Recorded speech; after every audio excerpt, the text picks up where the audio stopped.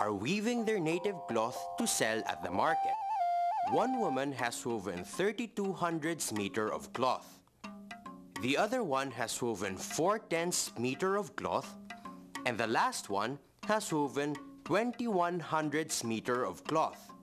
How many meters of cloth did the women weave? To find out, let's add the decimals. First, arrange the addends in a column by lining up the decimals. Then, put zeros if necessary. Then, add as whole numbers starting from the right. Let's add. 2 plus 0 plus 1 equals 3.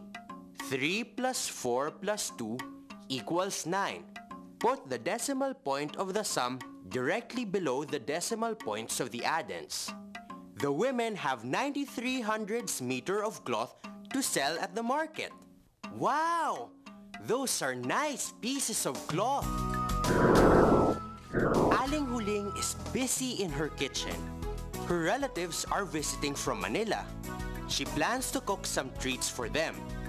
Bibingka, polvoron, and maja blanca.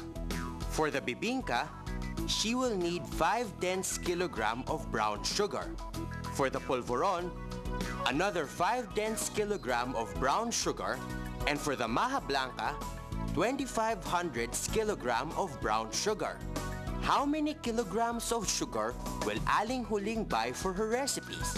Let's add the decimals to find out. First, arrange the addends in a column by lining up the decimals.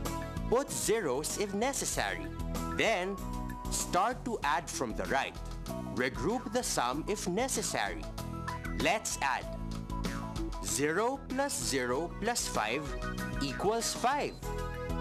5 plus 5 plus 2 equals 12. Regroup 12 tenths as 1 and 2 tenths. 1 plus 0 plus 0 plus 0 equals 1. Put the decimal point directly below the decimal points of the addends. Aling Huling needs 1 and 2500 kilograms of brown sugar for her recipes. I see she's going to the store now. See you later, Aling Huling.